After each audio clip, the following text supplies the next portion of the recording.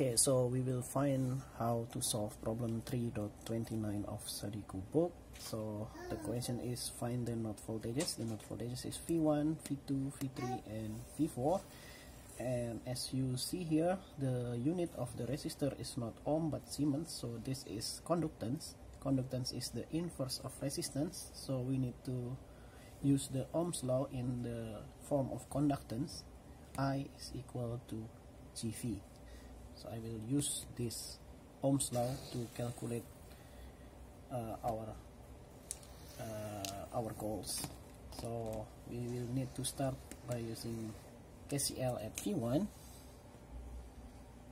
KCL at V1 but first I need to assume where the current goes. So as usual I will assume that the current will goes to the ground and for the horizontal to the right. And this one is to the bottom. This one is to the ground. And this one is also up. So at V1 so let's see what we have at V1 at V1 the current that goes in is equal to the current that goes out. The current that goes in is only this current. So we will have V4 minus V1 divided by the value of these resistors but it's not divided it's multiplied by 1 and any other current that goes in? No. So we will move on to the current that goes out. It's this one it's 5 plus this one. This one is V1 to the ground so V1 minus 0 divided by these resistors. So it's multiplied by 2 and then this one plus V1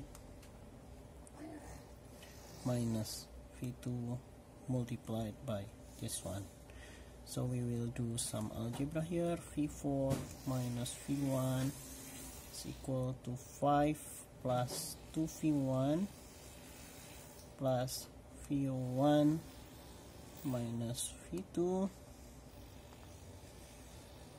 and I will move this one to the right hand side. So I will have 2v1 plus v1 plus 1 I will have 4 v1 and v2 I only have that value. V2 and v4 I will have minus v4 and for 5 I will move to the left hand side so it's minus 5 and I will save this equation as equation number 1 and now let's move on to the equation number 2 by using KCL at V2 KCL at V2 what do we have here? The current that goes in is only this one. The other is going out. So the current that goes in is V1 minus V2 multiplied by 1 and that equal to V2 multiplied by 2 plus V2 minus V3 multiplied by 4 and let's do some algebra again. 2v2 plus this one is 4v2 minus 4v3 so we move all to the left hand side. I will have v1 minus 1 minus 2 minus 4 it's minus 7 minus 7 v 2 and then for v3 I only have that value plus for v3 and that will equal to 0 and let's save this equation as equation number 2 so we only have, we only have two equations here. We still need two more. And we need to find out KCL at V3 what do we have here? The current that goes in is equal to the current that goes out. All the current here is going in. So we start at this one. So what that is is V4 minus V3 multiplied by 1 and then plus this current here that goes in 4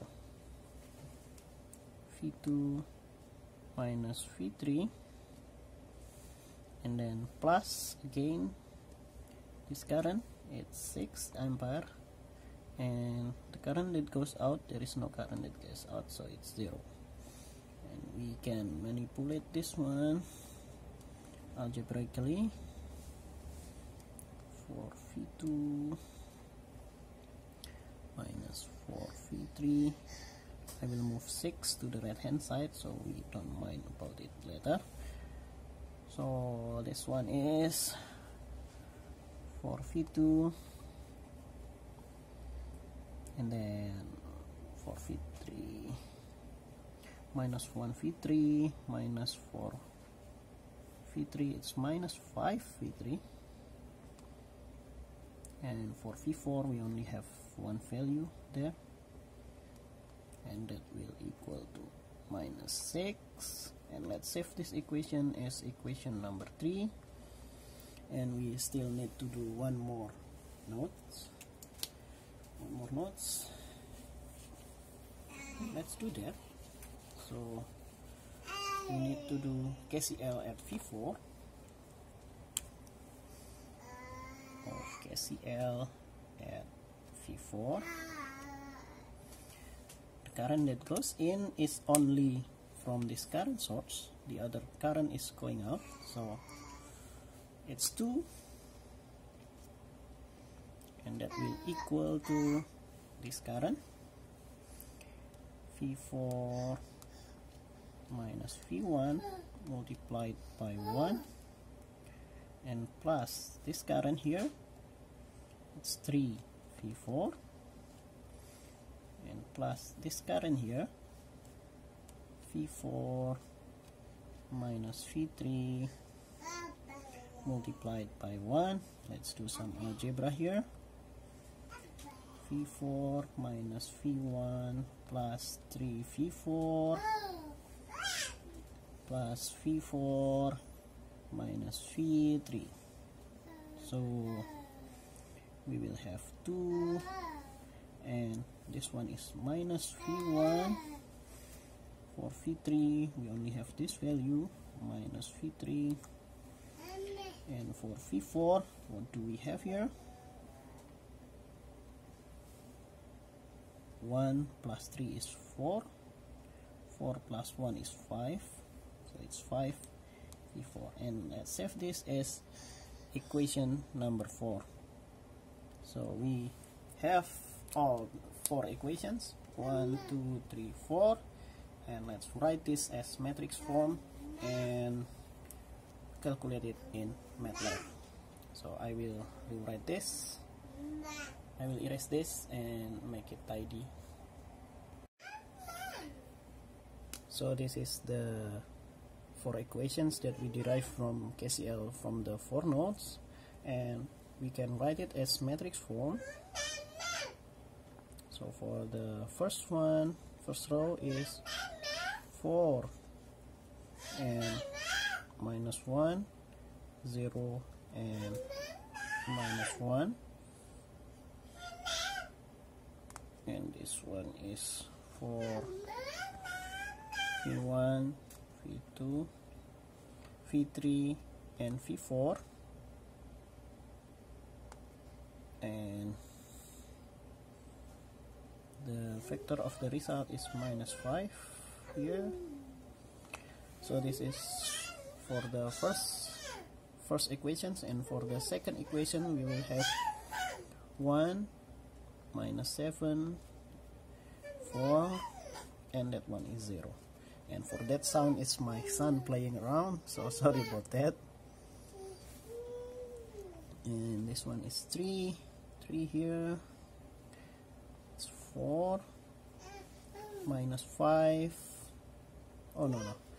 The v1 is 0 so v1 is 0 v2 is 4 v3 is minus 5 v4 is 1